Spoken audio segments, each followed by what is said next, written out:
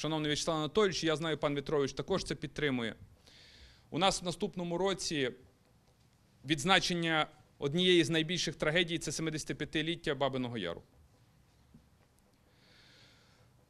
Е, Прошу, щоб В'ячеслав Анатолійович, ви розпорядженням уряду створили організаційний комітет.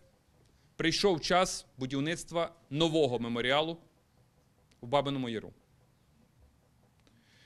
Е, Прошу створити відповідну конкурсну комісію. Будемо шукати разом фінансування.